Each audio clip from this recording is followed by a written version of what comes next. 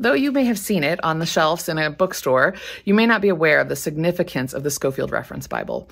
The Scofield Reference Bible was published in the early 1900s, revised again in 1917, and grew huge popularity between sort of World War I and World War II in that era. That had a lot to do with the tone and the nature of the theology within the notes of the Scofield Study Bible that really lined up with um, a lot of things happening in, a, in the world and especially sort of the change change in the general attitude and tone of American culture. Part also of its um, rise to prominence was that the Scofield Reference Bible was essentially the first study Bible. It was the first Bible that published alongside the text of the scripture notes commentary to try to help people understand it.